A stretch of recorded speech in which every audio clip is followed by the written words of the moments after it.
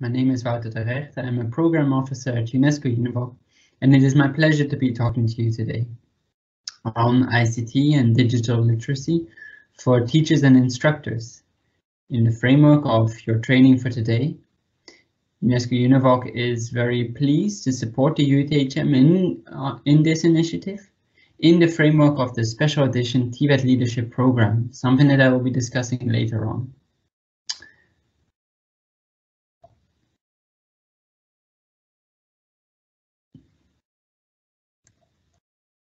Before I start talking about ICT and dig digital literacy for teachers and instructors, I thought it would be useful to perhaps first talk about who we are, as some of you might not know.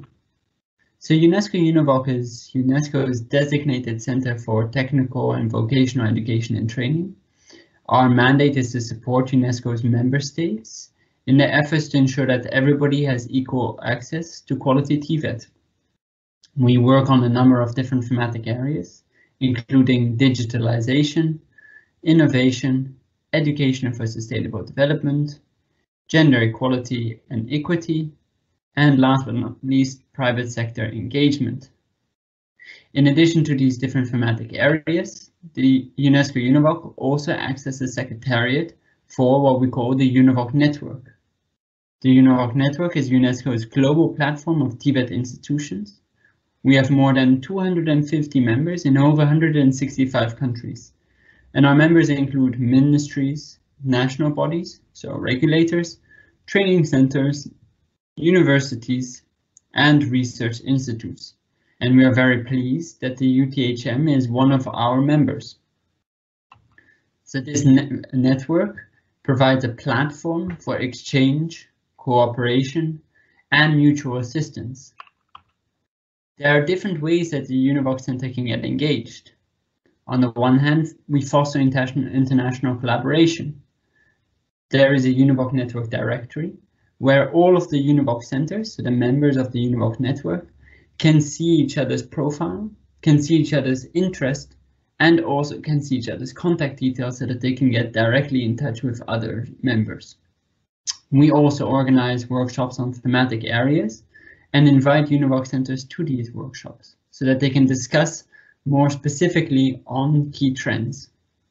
And lastly, we organize global conferences and fora, where again we invite our network members to come and discuss.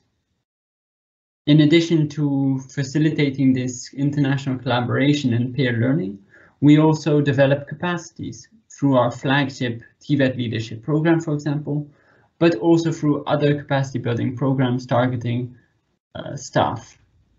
Finally, we also provide technical assistance to our UNEVOC centers, and particularly through the implementation of our tools and practical guides. So in each of the different thematic areas that I already previously mentioned, we develop guides and tools that centers can use and implement in their institutions. As I mentioned, one of our flagship programs is the TVET Leadership Program, which tries to build the capacities of TVET managers to become change agents in their institutions. In 2020, in a as a response to the COVID-19 pandemic, UNESCO UNEVOC organized a special edition TVET leadership program. We made a call to all of our alumni, so we have over 200 alumni, to propose to propose activities in their institutions that would help their institutions and their region respond to the COVID-19 pandemic. We received over 60 applications and we're very happy to be supporting the UTHM in implementing their proposal. So moving now towards what is being discussed today for your training. ICT and digital literacy for teachers and instructors. I think we first need to address the elephant in the room in a way, the COVID-19 pandemic. For many, this pandemic is a disruption. So whereas previously we were uh, implementing and conducting education and training in TVET institutions, all of a sudden the pandemic put a stop to this. However, not we shouldn't only see it as a disruption. We can also see it, for example, as an accelerator. Because when we're talking especially about distance learning, what we can see is that in many institutions, there was already a, a, transition towards distance learning. Distance learning was already something that we had been discussing for years. And perhaps the pandemic has only accelerated now these ongoing processes.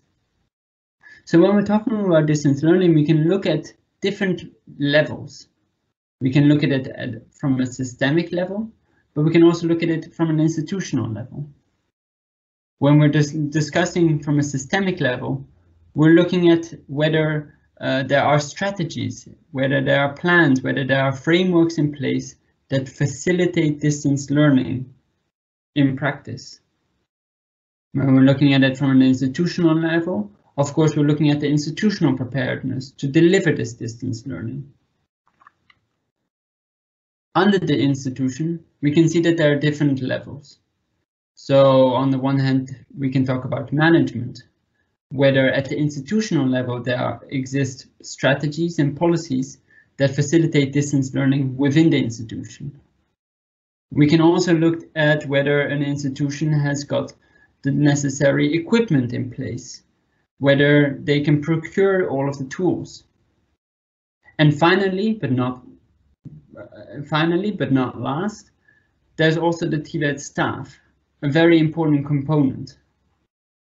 So when we're looking at the TVET staff, what, which skills and competencies do TVET staff actually need today? There's of course demand and supply. From a demand perspective, we can look at what are actually the labor market needs. So what are the ICT skills that students, that graduates will need for today and tomorrow's jobs? Because knowing these skills, so doing the necessary skills forecasting, will enable us to know what are these skills and then what are then the skills that TVET teachers need. I think what is very important here to note is that it's not only about transmitting or, or just um, passing on the necessary skills. We also need to look at it a little bit more holistically. So here I would like to point out the, the definition of, for example, digital literacy.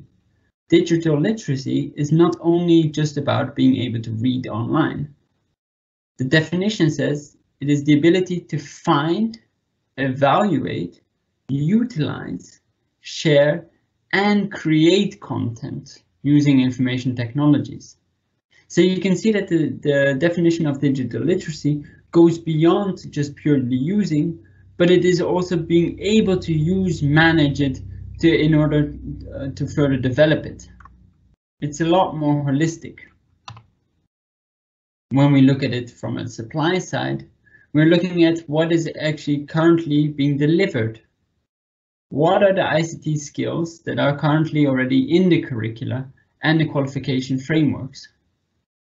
What is currently the institutional setup what training is being delivered to teachers, and what are the new forms of teaching and learning that are already currently happening. One of the tools that I would like to point out is the UNESCO ICT Competency Framework for Teachers. I won't be able to go into it in much detail because of the limited time, but I would recommend that you all look at this framework. UNESCO's ICT CFT framework basically tries to point out 18 different competencies that teachers need in order to move towards distance learning. And this is also done in a very easy to understand manner.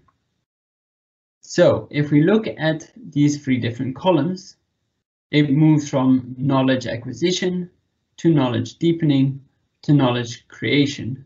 And these three different columns basically signify different levels. So whereas knowledge acquisition is basic. Knowledge creation is the most advanced level. In addition to these different levels, there are six different areas that the framework looks at. Understanding ICT in education, which is more looking at policies and management, curriculum and assessment, pedagogical approaches, the application of digital skills, organization and administration, and finally teacher professional learning. And what I would like to point out here is that we're not only talking about uh, pedagogy, for example, but what this shows is that a teacher needs to know so much more. So particularly when we're talking about organization and administration, setting up a distance learning platform is not only just about setting it up, but it's also knowing how to manage it. Nowadays, questions, for example, uh, with regards to storing private data uh, is very important. And a teacher needs to know about what are the current rules and regulations and how to go about this, in addition to being able to use the platform. So I wanted to point out one of the different areas to just show an example of how the framework can be used. So when we're talking about pedagogy, we're talking about uh, how teachers use ICTs to support their teaching and learning methods. If we remember the three different columns, we will go now through the different levels and see what this actually then means.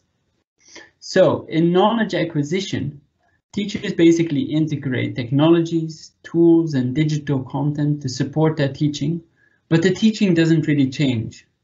So basically the teacher takes what is currently being taught and also the manner that it is currently being taught and uses ICTs to kind of support what is already there in knowledge deepening, we're looking at how teachers then use these ICTs to change a little bit the pedagogical approach. So instead of just basic chalk and talk here in the first column, in the second column, we could expect more collaboration, more project-based learning, and ICTs are used in order to facilitate this. In the last column, we talk about self-management. And this is basically also signifies a change in the role that the TVET teacher will take. So whereas in the second column, the teacher still is at the forefront, in the third column, we're talking more about self-management and self-learning. The teacher becomes a facilitator, setting up platforms to facilitate learning communities through which students can then continuously be engaged. What I would like to point out is two things. The first one is with regards to the ICT tools that are being used. Whereas in the first column, we are still talking about fairly basic tools. In the third column, we can see that the ICT tools have become more diverse and more complex. Secondly, we are talking about the pedagogical approach. So, whereas in the first column, we're still talking about very standard ways of teaching and learning. In the last column, this pedagogical approach has completely changed to more collaboration and self-learning. And what this kind of then shows, this framework shows, is that the teacher's role will really vary depending on which column we look at. So this is with regards to the TVET staff what is what skills the TVET staff uh, need. And what I've hopefully shown is that we're not only talking about digital skills that are needed in the labor market, but we're also really talking about how to manage these distance learning platforms. Then we can now look at the institutional readiness. And in order to discuss the institutional readiness, I wanted to, I wanted to bring forward UNESCO UNEVOC's innovation framework, which was developed uh, during its Skills for Innovation Hubs project. And what this framework looks at is how to promote innovation in a TVET institution. And it's very relevant to distance learning. Perhaps as a starter, I will go through the different areas. So the innovation framework looks at four different areas in an institution in order to promote innovation. These are leadership and organizational practices, skills and innovation ecosystem, products and services, and finally, teaching and learning processes. So let's start with leadership and organizational practices, and also look at how it's relevant to distance learning, for example. Leadership and organizational practices looks at management. So here we can again ask a question, is there sufficient frameworks and strategies in place to facilitate distance learning in an institution. Sometimes institutions require distance learning, for example, to be inscribed in the institutional strategy for there to be uh, more pressure. We can also talk about management principle. So uh, is enough staff time dedicated towards uh, continuous professional development? Are staff given enough opportunities to learn about new tools? We can also talk about procurement. Is a budget set aside to acquire new tools? When we're talking about skills and innovation uh, ecosystem, it's an institution's ability to engage with partners around. So, for example, looking at distance learning, we can pose the question, is an institution able to partner with, for example, a company to acquire new tools. When we're talking about virtual and augmented reality, these are expensive. So an institution's uh, ability to partner with others to bring these resources on board is important. Products and services. And here we're talking about what is the training and education being delivered at the institution. How has that changed? So making reference again to the pedagogical approaches, we're moving from just purely teaching and learning to more collaborative research projects. Is an institution, in addition to just providing the courses, also able to deliver uh, research-based projects to others in their ecosystem? Finally, when we're looking at when we look at teaching and learning processes, we can look at a number of different areas. So is enough in-service teacher training opportunities being provided? Where while pre-service is very important, of course, there also needs to be continuous teacher training opportunities for those teachers that are already in the institution, for them to be able to update their knowledge. What are the ICT tools being deployed in teaching and learning? So whereas again, moving through the different columns, making reference to UNESCO's framework, we can talk, first talk about very basic tools. We saw that moving towards a more integrated approach or more self-management systems, for example, will require more complex and more diverse tools. Are teachers able to use these tools? Are institutions able to provide these tools? So what this innovation framework I hope has shown is that institutional readiness isn't only about just teaching uh, teachers and instructors, but we really need to look at the institution as a whole. Because whether leadership and organizational practices, skills and eco innovation ecosystem, products and services, and teaching and learning processes are ready for distance learning, will have a very big impact on an institution's ability to provide distance learning at the end. So we've talked a lot about distance learning. So what forms of distance learning already exist? We're not starting from, uh, from square zero. Again, I won't have time to go into much detail today, but what I would recommend is that you look at the link here below. So when the COVID-19 pandemic hit, UNESCO, uh, UNESCO organized the Global Education Coalition. The Global Education Coalition brings together international organizations, regional organizations, non-governmental organizations, but also companies. And basically, the main thing was to ensure that through, through uh, despite the COVID-19 pandemic, that there would still be quality education and training for all, that everybody would still have access to quality education and training. And what you will find in this link is basically a collection of platforms and systems that are already in place. So we're really not starting from square zero. It's just about being able to identify which distance learning platforms are applicable for us and then also to organize the teacher training for them uh, in order for them to be able to use these platforms.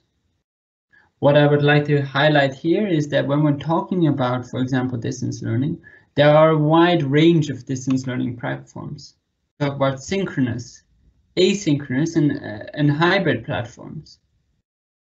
And perhaps it's worth highlighting that while for academic education, it might have been quite simple to move towards distance learning. For TVET, there is a, one particular challenge, practical training and practical work. But even here we can see that there are a range of uh, possible solutions. Some ins institutions have experimented with gamification, others with augmented reality or virtual reality. And it is within this context that UNESCO UNEVOC is very happy to see that the UTHM's proposal focused on augmented and virtual reality, because these are definitely solutions for the future. And with this, I would like to say thank you and good luck. Again, UNESCO UNEVOC is very happy to see that the UTHM is carrying on this uh, initiative, and we really do look forward to the results of the training. Thank you and bye-bye.